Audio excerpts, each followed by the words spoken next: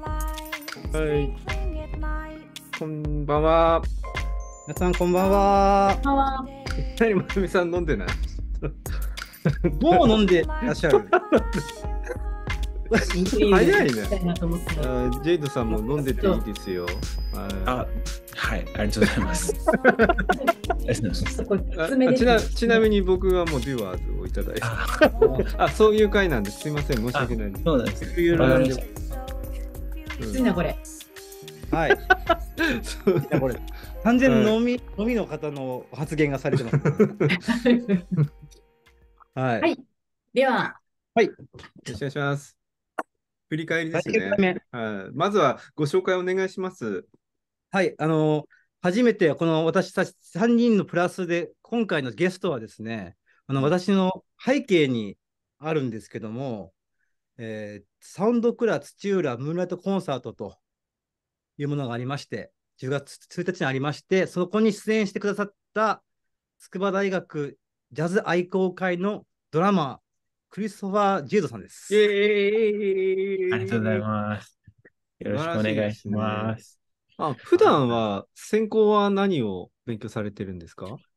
えっと、はい。障害科学っていうほうほ学問、えっと、あれですね、知的障害だったりとか、う。うんうん。発達障害っていうような、あ障害に関することをいろいろ幅広く学んでる感じになります。私、私の話で申し訳ない。私が勤めている、私、幼児教室の講師をやったんですけど、あの、まあ、発達障害まではいかないけども、特別学級に通っている子たちとか、あの、頑張ってきてますよ。おお、ねすごい。あだから背景が、あの、あ、そうそうそうそうそうそう そう。あそうだ、ねそういう。な えーえーちょっとそう背景ちょっとね、うんあの、おしゃれなライブの後でどうしようかなと思って探したんだけど、やっぱりね、どうしても教室系しかなくて、いや、ですねでもこん。なところでつながれるとは嬉しい。あうん、すごい。うんそうあの一応あの、ね、初めましてなんで、あのあ、そうです。動画にはあれなんですけど、ご紹介で、あの、島野真由美さんというよろしく方で、お願いします。あ、よろしくお願いします。はい、あの、そこのヘッドホンしてるのがですね、あの、U- UNA というあのユニット、メインの私のあの活動のユニットの中村博之。よろしくお願いします。よはいよろしくお願いします。ろしくお願いします。そうなんですね。ねえでも、ジャズズがお好きなんですね。そうですね。母親が、あの、ジャズの、まあ、アマチュアなんですけど、ボーカルを、まあ、うん。へちょこちょこやってて、それの、まあ、つな、影響でか知らないですけど、まあ、ジャズをやることが多くて、うん。大学でもやってみようかなっていう感じで始めてみました。た。そうなんですね。えー。はい。結構演奏は、じゃあ、頻繁にされてる感じなんですか？演奏、まあでもライブはそうですね、最近ちょっとライブにもちゃんと出始めた、大学でやってるライブにもちゃんと出始めた感じで。う、んで、だそれまではそうですね、コロナとかであんまり、あの、うんライブもできなかったりしたんで、ああの、外に出てっていうのはできなかったんですけど、うん最近はそうですね、やってます。なんか当日は盛り上が、大変盛り上がったとお伺いしてるんですけど、どうでした？はい。そうですね。あの、僕の印象的には、その、宇津木さんがすごい、あの、うんなんだろう、PA とかの、PA の場所ですごいなんか、あの、乗ってくれてて、ノリノリで、こう、聞いてるのを見て、ああ、嬉しいなっていう、その、率直な感想があって、うんうん、なんね。楽しそうに聞いてる人を見ると、やっぱり嬉しいですね。まあ多分なんかいろんなものが込み上げてきたんでしょうね、宇津木先生は。はい。なんでわかるんですか？いや、わかるわ。いや、僕わかるわ。そうだよ。わかるよ。で、そうやってね、若い人が楽しんで演奏してもらうのは僕らのね、あの、はい目標の一つですから、それはいいですよね、宇津木先生。ははい。今回じゃあ私のこの方が先でいいですか？い。もちろんですよ。はい。ええ。あの、筑波大学ジャズ愛好会さん、初めてあのご出演してくださったんですよね。で、はいあの、何回か部室の方にもお邪魔して、一緒にセッションとかあ楽しいいね。そうなんだ。はい楽しそう。めっちゃくちゃいっぱいいるんですよ、部員さん。あ、そんなにいるの？へえーはいあ総勢もう2、2 30人ぐらいいるんじゃないですか？いると思いますね。えそんなジャズ以外の子もいる、いるんですよね、多分ね。筑波大学以外の子もいるんですよね。多分いや、学生は基本、筑波大学の学生だけそうなんですね。え、そそんななんだジャズが人気な場所なの？つくばって。人気。いや、まあ、筑波大学自体が結構、生徒数が、もう全部で、もうご多分結構何千人といるんで、そうか、そうかまあ、。その中うんの30人ぐらいなんで、まあ、そんなに多くはないかなって感じなんですけど、うんうんうん。割と多いですよ。うん。人数がすごい盛り上がってて、で、えージャズを大学から始めた、うん。ね、学生さんもたくさんいらっしゃいますしね。そうなんだ。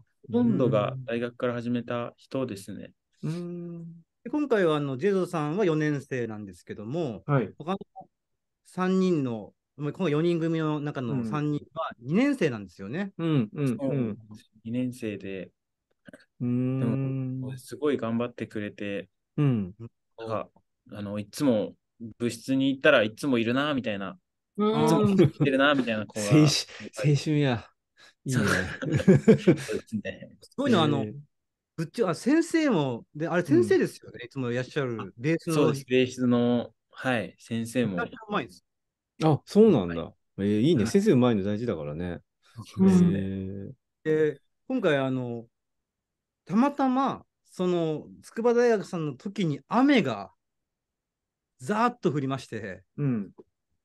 大丈夫かな？これ中止になっちゃうかなと思ってたら、途中からこうね、少しずつお上がっていって、ーで、あ、の、Facebook のコメントでは、うん筑波大学の熱い演奏のおかげで雨が降らしてくれた。おいや、いやありがたいいや、ですね間違いないね、それは。で虹もかかって。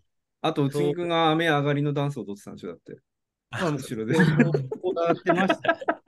いやあれやっぱ協力の、協力によってね。そうええすごく、本当にありがたく、あの、盛り上がったイベントになって、うーん一安心っていう。そうなんですね。はいじゃあもうこれから引き続きやってって、あれですか、後輩にいいドラマーいるんですか？あ、もうみんな、あの、やる気はすごい。毎、なんか、毎週金曜日セッションやってるんですけど、うん。やっぱり毎週来てくれますね、みんな。もうドラマーが6人とか、5人、6人、毎回来てくれる。えー、じゃあそれぞれのバンドあるみたいな感じなんですかね。あ、そんな。みんなそれぞれバンドえー組んでる感じですね。えー、そうなんだ。ジェイドさんは主にどんな、どんな感じ？スイングとかですか？それともバップとか？ど、どういう感じのジャズやられるんですか？僕最近は、あの、はい顧問の先生とバンドを組ませてもらって、はうん先生すごい。そうですよで、まあ、スイン主にスイングの曲をうんうん多めにやってるんですけど、うんうん。まあ、やっぱり顧問の先生は、うんジャズ歴がな長いんで、うーんやっぱりすごい、その厳しいお言葉を いただけるんですよね。えー、顧問の先生ってジャズの先生じゃなくて別のコース、なんかそのお大学の先生の方なんですか？そうです。もともえーと筑波大学ではい。ジャズをやってて、うん。で、そのまま大学の教員になって、ああ、もうやってくださってるっていう感じ素晴でらしい。うーはいん。そうなんだね。そっか。1曲目、ん？びっくりしたんですよ。うん。チャールズ・フードから始まったんですよ。おー、かっこいい。だから、おーと思って、うん。曲もかなりうんモダンなところからスタンダードジャズとね。うん。そりゃノリノリだわ。そうなんですよ。うーん。お客さんももう最初から反応が、うおーっんてなてたので、うーんいい演奏でしたよ。そうどうでした？宇津木先生のバンドは。先生って言わないでください。さ 宇津木、宇津木さんの。いいですそうもちろんあの、うん。すごい、あの、ドラマーの方とうん。結構長くお話しさせていただいたんですけど、ああ、そうなんですね。はい。うん。やっぱり、あの、そのドラマーの方は、もともとはそのスイング寄りな感じのドラムを叩かれるっていう感じだったんですけど、今回、宇津木さんたちがあの演奏されてたのは、どっちかというと、なんだろう、8、8ビート、えー、ロッククイーンなんだ。ロックっぽいえー感じの曲を演奏されてて、それでもしっかりなんか、うん。あの、もう、うまい、すごいうまいっていう感じの演奏をされてて、も もちろん、宇津木さん、宇津木さんもそうですし、あの、ピアニストの方もベーシストの方もそうなんですけど、まあ僕はドラマーなんで、ちょっとドラムに注目して聞いたら、ね、やっぱりすごいうまいえうまいの一言しか出ないんですけど、すごいうまいんですね。い。いまあね。ね。この野郎。なんでこんなに仲間じゃん わざわざ褒めてあげなよ。いやいや、やっぱり悔しい、く相方が悔しがるのが一番のご褒美だからさ。どうなんだろうね、この、この性格は。いやいや、俺、宇宙からだって悔しがられるの一番楽しいもん。あのね、この野郎。いう顔するんでしょ。そうそうこういう関係性なんですよ。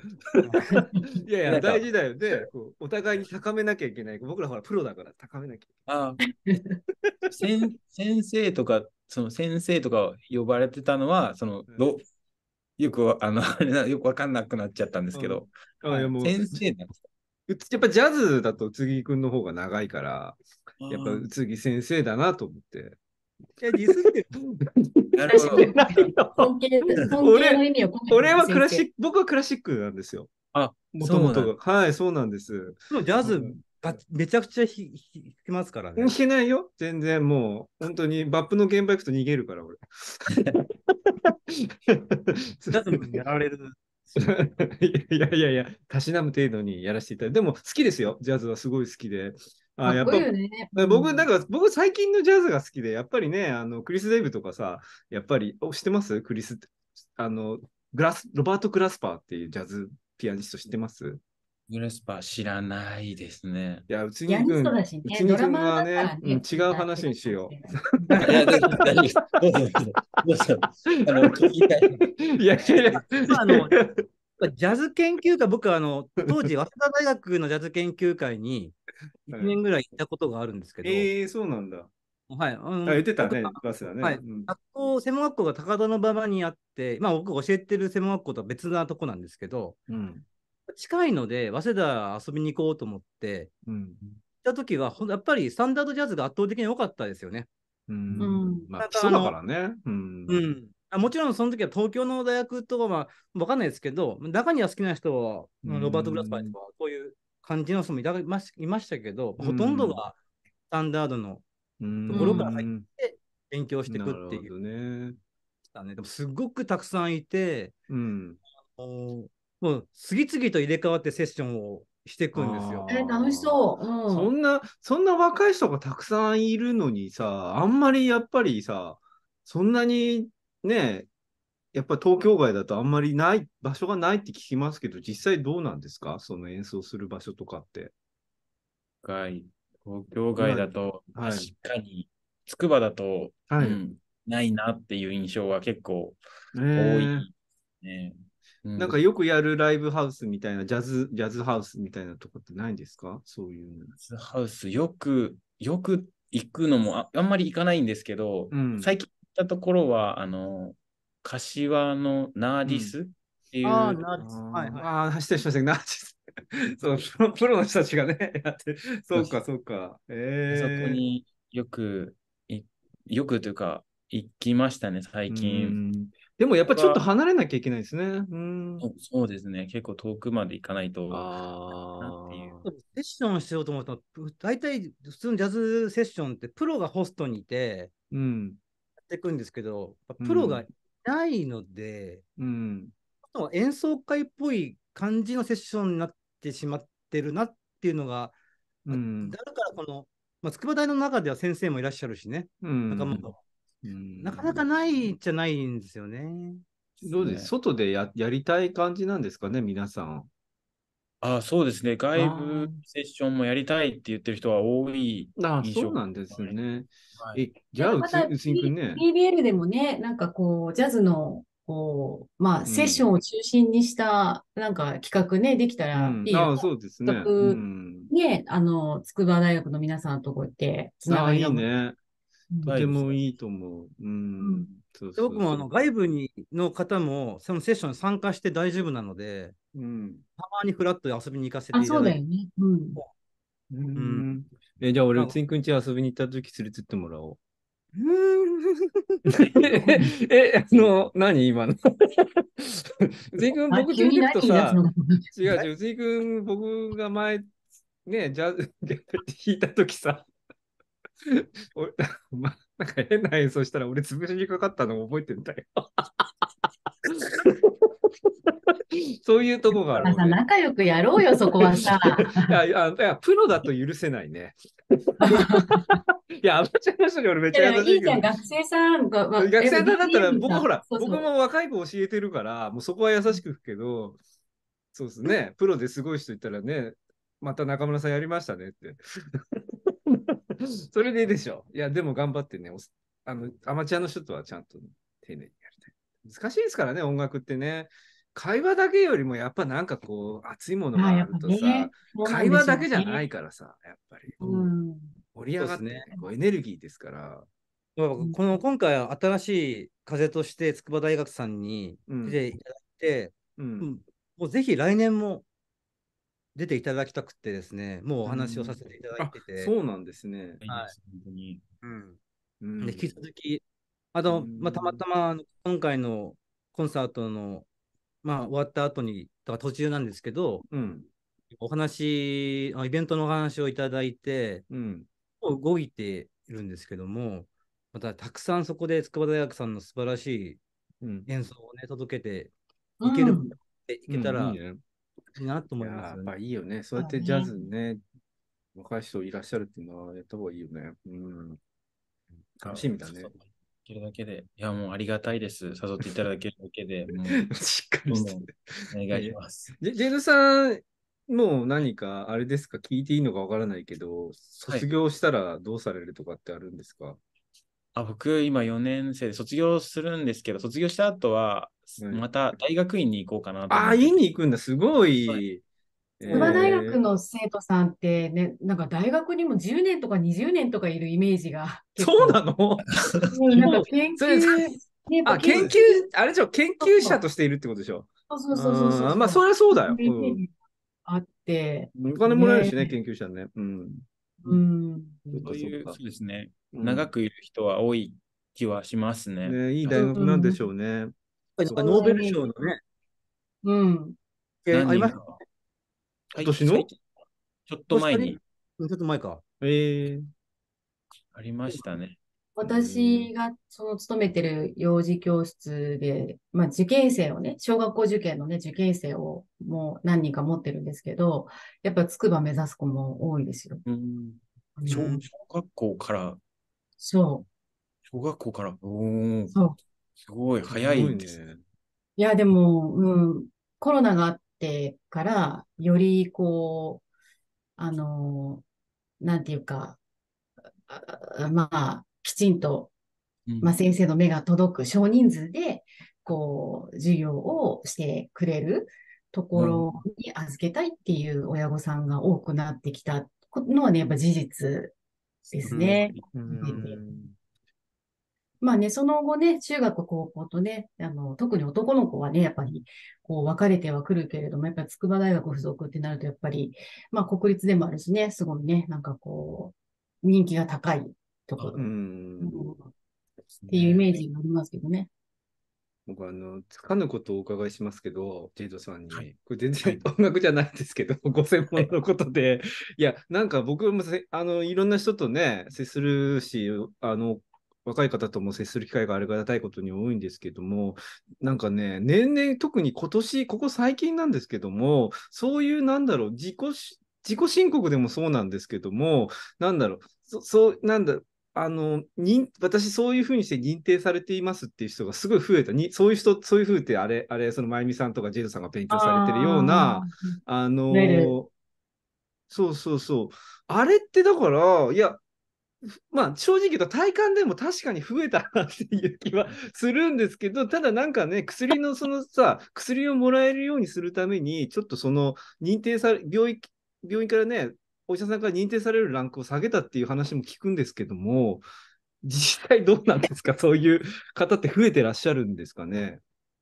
あーなんか僕も、あの、そんな専門家じゃないんで、あんま、あの、うん。あれなんですけど、うん。多分なんですけど、うん。その、SN SNS とかで、うん、結構そのカミングアウトする人がそうですよね。うん。で、じゃあ自分もこういう症状があるし、医者に行ってみたらいいんじゃないかって思う人が多分増えたんじゃないかな。それで、なるほどそれね。で、なんだろう、実質的にそういう人の。数が増えてるように見えてるのかなっていうのはまあね、ありますそね。それ、それがそう、ただ内在的に今までいっぱいいたってことですね、そういうのは。多分そうなんじゃないかなってそんな思います。急激に増えたわけじゃなくて、実際に自分で診断する人が増えたってことですね。うん、多分そんな気はしますね。うーん、なるほどね。そうか。なんか僕はなんかそういうのってグラデーションだと思ってるから、まさにそうだ。そうそうなんかここから急に病気になるわけじゃないから、いろんな人がいるっていうのはね、僕の年になってくると分かってくるけど、結構若い人が、いや、私病気なんですとか結構言ってくるから、なんかいいことあんのかちょっと思ったりとか、じゃあ思わないだって。なんか、あんか SNS で申告することによって、なんか社会が少し優しくしてくれるとか、そんな感じなのかな？そんなことないよね、多分ね。うんまあ少し、うんなんか配慮みたいのは受けられるのかなっていうああー、そういうことか。なんかある程度のね、障害枠だったらさ、あれ、手帳もらえるから、い今危険な話してる？俺大丈夫かな？あのあまあ、まあそうですね。ちょっと。まあちょっと、あの、ちょうど時間があともう一個ね、あの UMA の話もあるので、ここら辺で。いやいや、いや、こういうこともほら、面白いじゃない。まあでも、ジェイさん、今度一緒にね、あ、なんか、あのそっち系のお話もしたいですね。そっちぜひぜひ。はい。いや、僕らほらもうちょっとそ、そういうのね。聞いてみ実際たいです。にこいやいやう、まあ、私がいるところはもう本当にそう、認定をされるかさ、まだちっちゃいから、みんな。うん。されるかされないか微妙な子たちがいたりもして、で、もちろんされてる子もいるしっていうね、とことね、そあと実際にどんな、こう、それに向けての、なんていうか、まあ、研究であったりとか、なんかそういったことでね、お話ができたら面白いですね、またねぜひ、あの、あはい、すいません。現場、現場。で、そうです。現場でなんか働いてらっしゃる方と話す機会あんまりないんで、そうねぜひ。まさに僕らはぴったしですね。そううん現場で。すんごい大変だから。現場でめちゃめちゃ働いてるもんって、外で。まあ、あの、全然ちょっと話がそれちゃったんですけれども、あの、本当にお疲れ様でした。またありがとうございましした。あこのの、イベントの様子ちょっと出してもいいですか？あ、ぜひぜひ。まあ見えてますか、これ？見えました。うんうんうん。はい。これがあのあ最初のですね、あの、キッチンカーの様子なんですけど、なんでキッチンカーの様子？でまあ、イベントの全体ですね。うんうん。これがあの、筑波大学さんのものですね。うんうん。はい。で、これは、あのさんも盛況で、はい。吹奏楽団さん、土屋吹奏楽団さんが大所帯で出てくださってですね。すごいねうんうん。はい。で、これ私たちなんですけど、うん。はい。まあ後ろからだとこんな感じらしいですね。いいじゃん。かっこいいじゃん。はい。で、あの、市長と、と、撮らせていただきまして。ああ、ねえ。市長めちゃくちゃ友近と似てるということで話題になって 話題を、あなたが言ってるだけで、いやいや、いや、めっちゃ似てない？ジェイド君だってさんもすご思でしいう楽しそょうな。うん。とい言われてみれば、いや、ね。俺マジで友近かと思って違いすます。楽しそうにしてくださって、視聴さんも。えありがたいこと。うん。そうそうあれ、ジェイさんは？ないの？でもいないですけど、まあ、こうね。ああ、いたいたいたいたいた。はい。この時多分一番どどの雨、土砂降りの時ですよね。えー、本当だ、後ろ雨降ってる、ちょっと。なんですよ。えー、大変だったね。はいまあ、こんな、うんこんなイベントでございました。素晴らしかったあーおね。疲れ様です。おめでとうございます。実際にあの生でね、あのドラム聴けるのすごい楽しみにしてます。うん。またぜひ、ねご一緒しましょう。え、ねえ、ぜひぜひ。うんで、そして、えっ、と、UNA のライブにもちょっと触れましょうか。はいえっと、ジェイドさんはもう、その、ここでってことですかね。どうなんだろう。参加し、どどう打つどうすんの？よかったら、このまま、あともうちょっとしかないか、あと5分。あいや、ででも別に40分まで大丈夫だから、ちょっとオーバーしてもいい。一緒にいかがですか？ああ、もう全然、ぜひ、はい、話をわかりました。はい。まあちょっといつかね、UNA に参加してくださることになるかもしれないし そ、うね。そうね。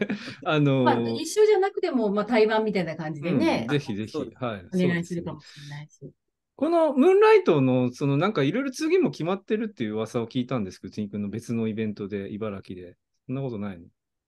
まあ、決定にはなったのでまだ言えないか。あ言え、言えるんだ。はい、あの、土浦にはですね、うん。は日本三大花火の一個の土浦全国花火大会っていうのがありましてですね、うん、素晴らしいやつね。はいうんこちらでですね、イベントを立ち上げることになりましてですね、おそれが今動いているという形でございます。素晴らしいな。あのでかい花火で。はい。素晴らしい。人の中でライブやはい。その前の時間ですね。ああ、いいね。楽しい。はいはい。こういうのをまあ少しずつもうできることを増やして、どういうことできるかなっていうのを今考えております。いいですね。はい。素晴らしい。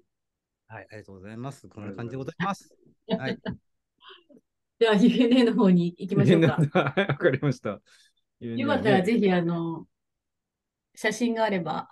あ、え写真ね動。画、動画ないのかな？動画は出せないの動画あるよ。動画あるけども、ちょっと待ってね、今、あの、転送することにする。ちょどうでした、あのーうちにくんライブ。まゆみさんはね、見に来ていた、あの、はい受付までやっていただいたんですけど、大変申し訳ないことに。どうでした？あのね、おしゃれなとかね、できね。片里さんというね、あの私たちの音楽生のお店で、柴崎というところなんですけど、調布の柴崎のモドというお店で、UNA は、まあまあ、中村博之とお次に講師やってるんですけども、ベースの安川大樹さんっていう、もう日本の代表するジャズベーシストの方、あと、あの、土屋にも来てくださったんですけど、ボーカリストのユージンさん、はうん。初の4人ので、いやー、ね。かなり緊張しましたよ。あ、うん。緊張されてましたね。僕も緊張してましたよ。はい。うん。いやいや、すごいね。あの、大御所とやるし、すげえ若い人もいるしさ、結構緊張したよね、ほんとね。ちょっと今写真をね、ちょっと待ってくださいね。そうそうそう。うんそうまゆみさんでどうでした？見てして。そうそう、場所まゆみさんとしてはね、本当に小さなあのライブハウスみたいなと、1階がバーになってて、で古いこう建物をね、あのすごいおしゃれな環境に改築をしたところでね、やっはいていて、のその前に2つバンドが、あの20代前半の皆さんの、ちょうどね、J さんと変わんないんあの年頃の皆さんの、またその2つがすごい上手でね、うん、ええ全然違う感じの、うん。ああそうそうのあの方たちはポップスでいいのかな、ジャンジャンルは？まああー、そうですね。R&B とかも入ってたり、ポップスのうんね二人組だったりとかっていう感じでしたよね。ね、そうそうあの音楽だけ。けじゃなくて、その、えっと、後ろ側がね、あの壁の真っ白な壁だったから、そこにこう、なんていうか、アクリ派の様子ね。いやー、いそう、これすごい、ね、あの、象徴的な写真ですよね。そうですね これ、ジェイドさん、なんかおかしなこと気づきません？これ。おかしなこと。おかしなこと。まあ、あの、先にオチを言うと、鏡越しに映してるのにみんな携帯を見てるっていうね。ああ、なるほど。あだから僕僕以外全員とぼけてるでしょ。いやいや、そんな失礼なこと言えないけど、ちょっとすごく僕個人的に面白くて、いや、お前もかいと。ここはなくていいっすよ。いやけいやいや、だってここにさ、あのいやこっちから映ってたったらいいが明らかに鏡に映ってんのにさ、なんでみんなこっちにいたんだと思って。いや、俺、ね俺がすごい。うんいや、でもこんなとぼけた感じなんですけども、演奏はね、ちょっと聞いてくださいよ、演奏じゃあ。ちょっと待ってね。いや、もうすごい面白いよね。ちょっと待ってね。えっ、と、サウンドを共有にして、えっ、と、クイックタイムでちょっとじゃあ、はい。あ、これ、チンくんのサックスですね。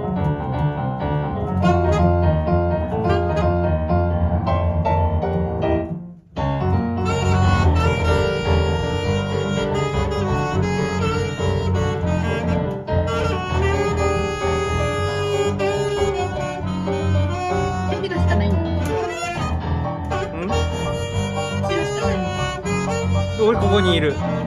右下にいる。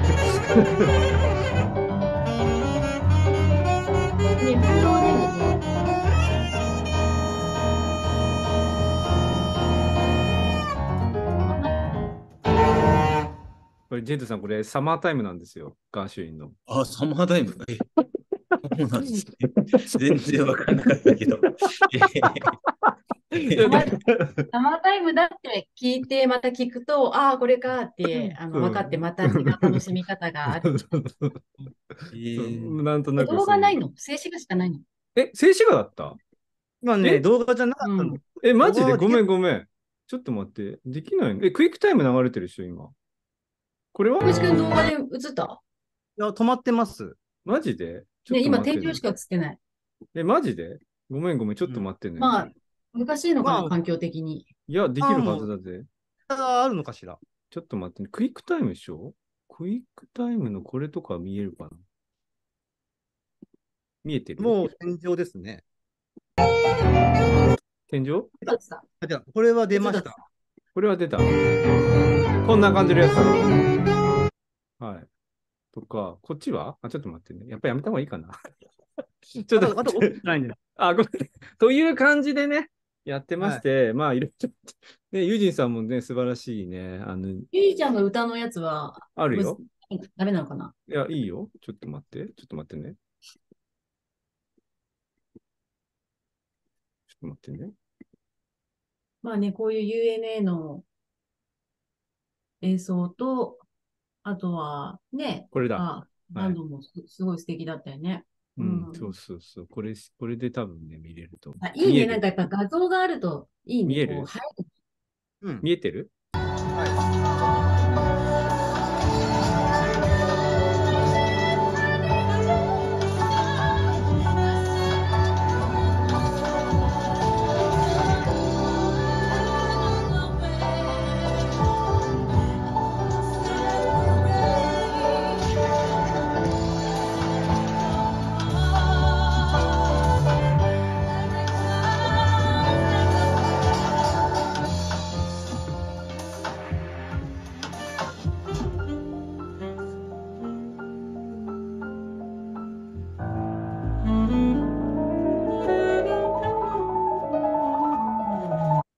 ロマンチック。っていう感じ。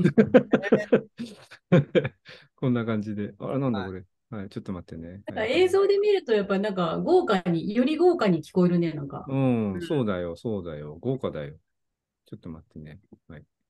はい、すいません。はい。こんな感じでね、やってまして、次回は、あの、でも、あ今日、怪しいってきたんで。今日あったんだそう、あの、あれなんですよ。そう、ちょっともしかしたらなくなるかもしれない。11月のコンサートとか言われてしまったので、うん。そうなの？そうなん、そうなんだよ。うん。だからまだわからない UNA、わからないけどね。あの、まあ、ら来週中には多分わかるんじゃないかなと思って、もしまあダメだったら企えー画しようかなとは思うよ。ね、自分たちで。ぜひね、やってほしいね。そうね。まあね。またね、ユージンちゃんとか抑えてたからね。チャルとユージンちゃんって、そうなんです。あチャチャルっていうのは、あの、ほんあの土らの時に音響でいたいてくれた、あの、ギニアの。そうそうそうそうそうそうそう。はいはいはいはい。彼ビートメーカーなんだけど、ビートメーカーなんだけど、僕らのバンドではラップやってもらってるっていう。ラップできるの。いやきだからちょっと特殊なラップなんだよね。だからね。うん そうそうそうそえー、聞いてみたい。う。いやいや、あいの、そうそうそう。あの、かっこいいよ、すごいかっこいい。うんうん、だから、ね、やろうと思ってたのに、まあまあまあ、わからないけども、やろうというところで、UNM リリースもね、ちょっと頑張ってやっていきたいなと思いますんで、そう、また、うつにくんに行かれたサマータイム弾いてもらわないといけないのでね、あの、今まで一番うわーってやった気がしますよ、そうだね、うつらしくない音が出てて、めちゃいいね、あれね。フリーだったね、やっぱね。安川さん入って、ほんとフリーになったね。めちゃフリージャズだすごい、うんあの、もし機会あったら、ぜひ、あの、ね、安川さん、またやってくださるってね、うん、そうそうそう、やってくださると思いまあの。聞いたんですよ。どういう弾いて、あの、まあ、この、む土らの時に、なんどどの時かな、あの、ドラムの、うん、あの、あの、八代くんはいは、安川さんの大学時代に教わってた。ということで、さっきあのやってたベースの方です。僕らのバンドでね、やってた方が安川さんって言うんですけど。あはい。はい。の、目でベースを弾いてるって言ってましたよ、ピチカート。え？え？何？あの、こう弾くじゃないですか、ピチカートって。うん。目を当ててるっていうふうに言ってたって言ってえー、そう。だから、あのここのお肉じゃなくて、あ骨、骨。ガーンっては弾くから。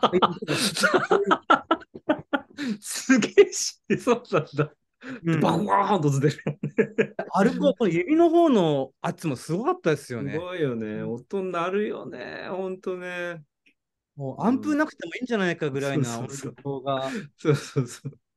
やっぱあの、皆さんも一緒にね、体感していただきたいとそうです思うんね本物のジャズジャイアントの音ってやっぱすごいですからね。日本のジャズジャイアントですから、あ名実ともにトップベーシストうんなのでね。そうそうそうぜひあの安川大輝ってぜひ調べて、あのうん YouTube とかでもライブとかね、出てるかもしれないんで、ぜひ、ぜひご覧になってください。はい。ねななんか母親が一回、あの安川さんとはい。ライブをやったえー、すごい。えつながるもんですね。すごいですー、ね。回るね。うんなんだ。知ってます？知ってました、安川さん。はい。えー、すごいすごい。し、あうん、あと1分になりましたね。タップな。ということで。であのはい。はい。ジェイソンさん、今回はゲストにお越しいただいてね、今回はあの、UNA とその、私の方の、土浦の方のイベントの振り返りとはい。そうですね。ではい。お送りました。はい。あのね、いつもこんな感じなんで大丈夫です。また来てください。まあ、でも緩くねえありがとうございました。あなた方飲んでるからでしょ？しかもそんで。飲ん飲んでるもの、ほらほらほらほら、飲まれてる。だっていつも、いつも飲むでやるって言ってて、うちいくんだけなんで真面目にさ、そんな。それだったら俺、打ち合わせに行かなきゃいけないんだ俺。あ、そうなんだ。あ、もう終わりますね。はい。じゃあ、それじゃあ、さよならまたありがとうございました。はいありがとうございましたありがとうございました。どうも。